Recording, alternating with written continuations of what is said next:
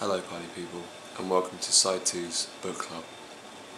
Today we're reviewing our book of the year, the B-Boy Championships from Bronx to Brixton. We're lucky to be joined today by the authors of this book. Sup, Hooch? Sup, Rob?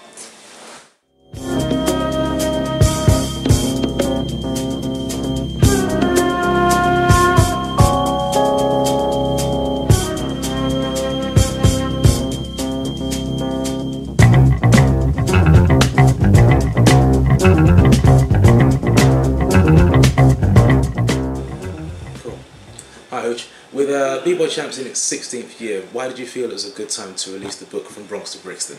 Well, the, the- actually, what happened was the publishers approached us with an idea of doing a, a book on dance of some kind, like street dance or whatever it was. They they were they were cl- pretty clueless when it came to any of it. They just liked the idea. Um, Don't doubt it. that's not this. They just didn't really know one way or the other what, what was out there. So they approached us through through the agency, and we showed them some of the imagery from the b-boy championships, and that pretty much sealed the deal, if you like. They kind of like went, wow, that's amazing. We we got pho photography from the last 15 years. We kind of showed them some of the stuff that we used at the exhibition on the 10th anniversary. And um, that was enough to sort of hook them in, and we put the deal together from there. And then, obviously, working on top of that, we decided that it was going to be more than just the photography. So we we we wanted to, to get the input from the dancers who were the champions, you know. So we got them interviewed all the top guys that won the championships either in solos, pop in b-boy or, or crew and we also got kind of like a glossary of moves and sort of a little bit of a description of the language so it's kind of like it appeals to people who know all about b-boying and people who don't know anything about b-boying. Cool. Uh, what's it been like this year, especially with running an event without a major sponsor?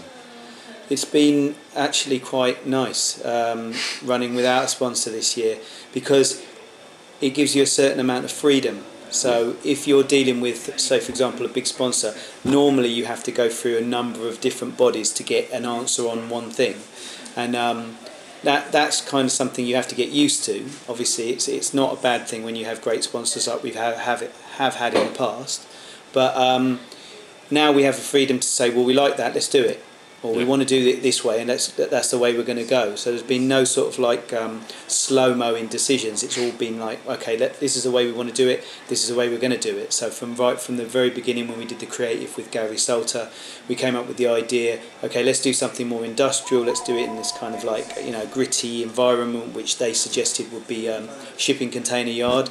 We just said, yep, love it, let's do it. We got Brahim, Roxy, Steady, and um, Sunny straight straight away.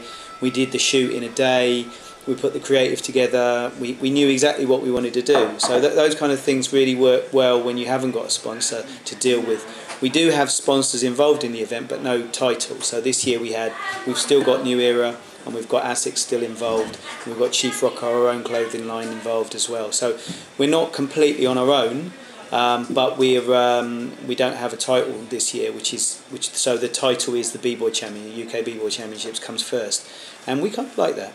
Yeah, Good times. Yeah. Um, so, in, in moving forward, um, what's the uh, what do you see as the future of the, of the B-Boy Champs? What's next for B-Boy Champs and for and for Pro Dance, the agency?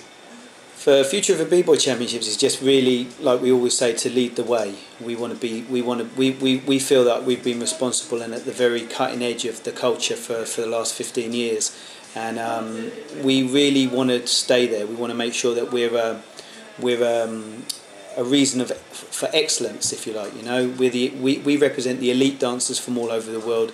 The qualifiers that happen all over the world basically will funnel the to the greatest eight in the world, hopefully, every year, and then the, the solo dancers to 16. Um, we want to keep doing that. We want to build on our qualifiers because worldwide we've never really been bigger. So we have, I mean, 20 countries represent to get down to that eight at the moment. Yeah. We're looking to develop into China next year, uh, the Middle East, and South America. So, you know, where we're pushing now, we've got obviously our European Championships, which is because we've got so many countries that want to come from Europe. We have to do those qualifiers that go to IBE and do the European Championships, which we do with IBE and Tyrone and Mario. And um, we want to do the same in Asia, and we want to do the same in South America. And North America will probably take care of itself because it's such a big area anyway. So in terms of the way we push forward for the future is that's that's where we want to lead and we want to be self-sufficient in that in that venture you know Yeah. we don't want to be reliant on on money from other people we'll always work with companies who feel that they've got something to gain by being with us but I think the nature of b-boy culture at the moment is growing so fast and it's so dynamic that we we should be in a position where we're running our own our own uh, show you know Yeah. and I think in terms of the big promoters worldwide, like, like ourselves and uh, IBE, Tyrone and Mario, and John Jay and Cross and Battle of the Year, Thomas and stuff like that, we're we're realizing that the power is now with us. So as we move forward, it's, it's a question of building with the brands that come on board, but but only working through our vision. Yeah. Okay. How have like sites like YouTube and Facebook really affected what you do and the way you do it? Well, um, in recent years, Facebook and YouTube has kind of revolutionised b-boying because it's a basically uh, the world communities come together immediately. You know, obviously it's done the same kind of thing with every every part of, of life, right? Um, and the internet is something that we've embraced from the very beginning. I mean, when we first start, started the b-boy championship in '96, there was no internet. I mean, there was, but no one used it. You know, and I think we had the first website, which we, we started around um, 2003 or two, was around then, you know. Before then, everything was done by phone and fax, and, and then when the when the internet came on, we really jumped on that. We had a website straight away, and you know, now of course it's just like it's normal, and we've got we, it's standard, right? So we've got website, Facebook, YouTube channel, we and it's all about building that community worldwide. So that we've got like a network of people who will who will support the b-boy championship no matter what they support the b-boys and the culture no matter what. So it doesn't matter whether it goes out of fashion or it stays in fashion. You know, fashion, as you know, and anybody who's involved in hip hop is not relevant in our culture. It's all about style, not fashion. We don't care what comes in, goes out. We just do it every day. And the, and the benefit of the um, the social networks and the internet in general is that we are in control of that. So, you know, whether it comes to music or, or video or merchandising or just tickets or events, networking, agency, it's all about, uh, you know, utilising these networks and the, and the, and the, um, and the internet to, to, to, to build our own brands rather than building someone else's. Okay. Um, what changes have you seen? What are the biggest changes that you've seen in the last 16 years in the b-boy culture, and where do you think it's going next? I think b-boying's changed. Some some of it's changed beyond all recognition. The moves are completely different. You know, I mean, in terms of like, if you think about back uh, back in '96, it was like backspins and windmills, and now it's air flares and, and inverted freezes and stuff like that. But I think there's there's a duty f- amongst all of us involved in b-boy culture is to, to keep the flavour. You know, is to make sure that it doesn't doesn't just become a spectacle of, of tricks and flips, you know.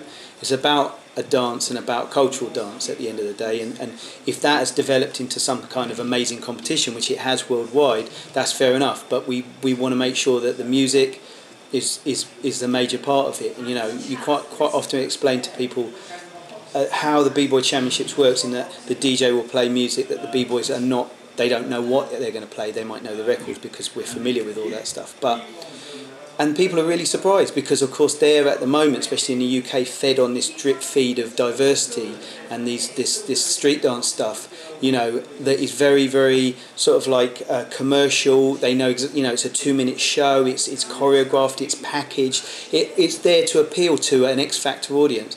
We're nothing like that. We're we're about hip hop. You know, it's about hip hop or rock and roll, if you like. You know and it's got to be raw and gritty, and that flavour's got to come through, and that's what we try and push at the B-Boy Championships, which is why our sponsors have had to work w- alongside us, and we don't work for them. Yeah. Um, even even even in the past, and we were lucky enough to be able to do that. And I think the challenge going forward, because more and more big brands do want to get involved in this culture, is to make sure that they come on board because they like what's happening. You know, rather than think, oh, we'd like to change this. And I see that a lot in different dance forms other than b-boying. Okay. Cool. Thanks. One love to B-Better from the b-boy championships. DJ Hooch. We'll see you at Brixton.